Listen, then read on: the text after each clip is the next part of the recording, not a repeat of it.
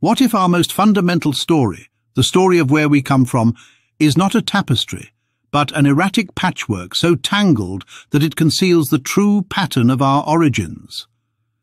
Geneticist David Reich's bold proposition is that our standard model of modern human evolution, built through successive patches and epicycles, are fundamentally flawed, increasingly implausible, and of low probability.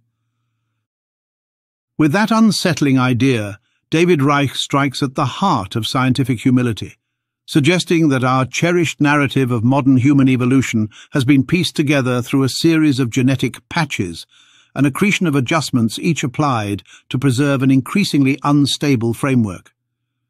This image could not be clearer than when he says, the model that we have is really a model based on accretion. We start with the modern humans, and then we add the Neanderthals once we obtain those sequences. We add the Denisovans, and then the model doesn't quite fit, and we add other mixture events to make the model fit. Reich invokes a metaphor as hauntingly apt as any in the history of science, likening this process to the ancient Ptolemaic system that added epicycles upon epicycles to make things fit, when the underlying theory was in fact flawed. He asks us to consider whether, in our rush to patch discrepancies, we have missed the possibility that the truth lies not in epicycles, but in a fundamental overhaul of the model itself. In Reich's own words, at this point, there's a number of these mixture events that seem increasingly implausible.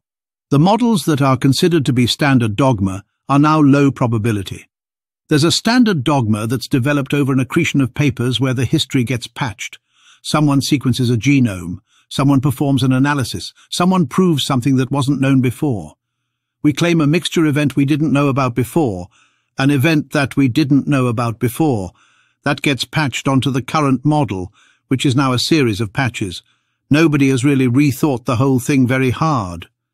Models that are considered to be standard do dogma are now low, low, probability. Yeah. So there's a standard dogma that's uh, that's developed over an accretion of papers where the data, the, the history gets patched. So someone sequences a genome, someone performs an analysis, someone proves something that wasn't known before. And so they we claim a mixture event. We didn't know about it before, an event that we didn't know before. And that gets patched onto the current model, which mm. is now a hmm. series of patches.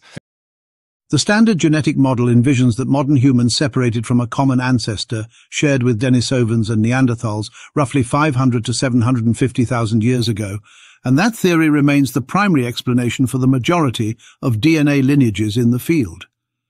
That picture, derived from genome-wide analyses, has been foundational since around 2012 to 2014, but has a probability of only 5% according to the studies themselves. Reich explains this neat separation is contradicted by analyses of mitochondrial DNA and the Y chromosome, both of which suggest that the common ancestors of Neanderthals and modern humans lived only 300 to 400,000 years ago, which is significantly more recent than the genealogical estimate derived from the autosomal genome. He emphasizes that Denisovans appear much more ancient, perhaps 700,000 to 1 million years, diverged in those uniparental markers. Reich crystallizes the tension with chilling clarity when he says, so the story told by these two parts of the genome is really different from the rest of the genome and incompatible with the main story. He goes on to describe how, in light of these disparities, some geneticists have invoked epicycles analogous to those of Ptolemaic astronomy, selective sweeps that favour modern human mitochondrial or Y chromosomal variants in Neanderthals, perhaps, or rare drift events.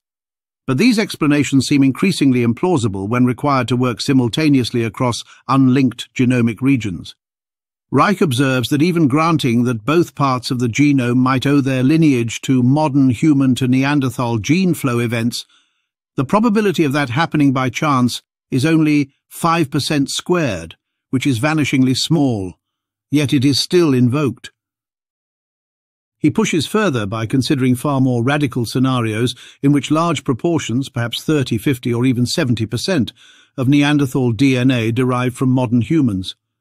Such a scenario would render the very terms archaic and modern ambiguous, because in that view, Neanderthals and Denisovans are not sisters. In fact, modern humans and Neanderthals are just as qualified to be sisters as Neanderthals and Denisovans and the distinction between archaic and modern humans would dissolve entirely.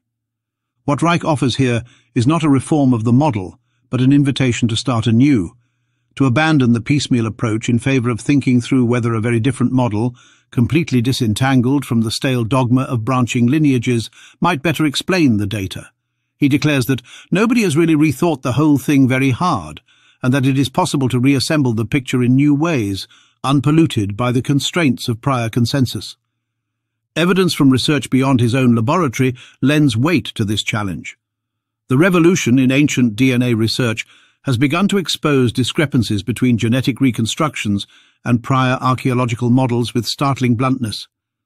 As reported by Science magazine in 2015, ancient DNA is adding layers of complexity to the story of how ancient populations migrated and mixed across the globe. Reich explains how findings in ancient DNA, many generated by Reich's lab, have contradicted prevailing views, showing, for instance, that the spread of farming did not purely reflect the spread of ideas, but involved actual migration of people and profound admixture events.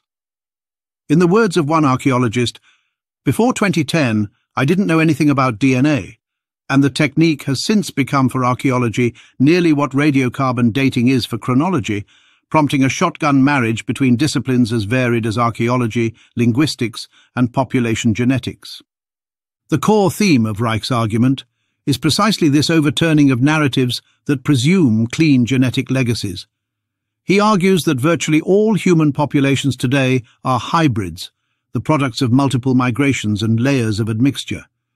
That fact of recurrence, that any land we think of as having a single ancestral origin turns out to be wakes of repeatedly interwoven genetic histories, is the substrate on which he builds his case that we must rethink our evolutionary models entirely. This deeper complexity echoes older alternative models to the out-of-Africa replacement narrative, such as the multi-regional hypothesis. That hypothesis, often viewed as an outlier, posits ongoing gene flow across continents over nearly two million years. It holds that archaic humans such as Homo erectus, Neanderthals, Denisovans and modern humans belong to a continuous species evolving regionally, yet connected through gene flow. The standard summary of the multi-regional hypothesis notes that advocates stress clinal variation and regional continuity preserved through gene flow, pointing out instances of shared traits across widely separated populations alongside evidence of admixture.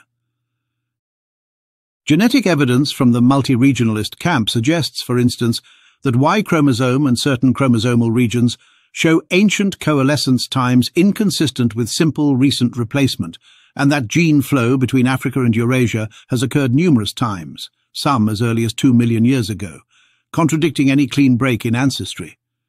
That vision maps remarkably well onto the kind of braided, layered complexity Reich now urges us to embrace. Taken together, Reich's equivocation about the modern versus archaic labels, his admonition that we have been building a model through patches rather than rethinking, and evidence from both his laboratory and the wider field make a compelling case. He insists that acknowledging complexity is not intellectual capitulation, but scientific honesty. He challenges his peers and readers alike to imagine what human evolution might look like if we jettisoned dogma and began reconstructing narratives from scratch allowing expectation to follow patterns rather than forcing patterns to obey expectation. Beyond the purely intellectual, the stakes of this re-evaluation also touch on ethics and identity. Reich is sharply aware of the historical misuse of genetics to support ideologies of purity, and he maintains that revealing the ubiquity of mixture undermines those misuses. Honesty in the human story repudiates racism not through ideology but through evidence. When even the most ostensibly local population turns out to be a layered tapestry of global ancestry, claims of unbroken, pure lineage evaporate. In closing, Reich's proposition that the current patched models of human evolution may hide deeper truths requiring a complete overhaul is no speculative fringe argument. It is a challenge rooted in the weight of genetic discrepancies, spurred on by the disruptive impact of ancient DNA on archaeological paradigms, and consistent with broader theories that saw human history as interwoven from the start. The appeal to ditch patchwork in favour of building from foundational principles calls for a paradigm shift, one that is both methodologically rigorous and philosophically expansive. The question he leaves us with is as humbling as it is exhilarating. Can we allow ourselves to discard epicycles and rebuild, face down the tangled truth that our origin might be far more networked and interdependent than we have dared to believe? That may be the real legacy of Reich's work, his invitation to rethink everything. Even Chris Stringer, who has been the leading proponent of the recent Out of Africa theory, stated in a video interview, At the moment, I'm looking again at the whole question of a recent African origin for modern humans, the leading idea over the last 20 years. This argues that we had a recent African origin, that we came out of Africa, and that we replaced all of the other human forms that were outside of Africa. But we're having to re-evaluate that now because genetic data suggests that the modern humans who came out of Africa about 60,000 years ago interbred with Neanderthals, first of all, and then some of them later on, interbred with another group of people called the Denisovans over in southeastern Asia. If this is so, then we are not purely of recent African origin, we're mostly of recent African origin, but there was contact with these other so-called species. We're having to re-evaluate the out-of-Africa theory, and we're having to re-evaluate the species concepts we apply.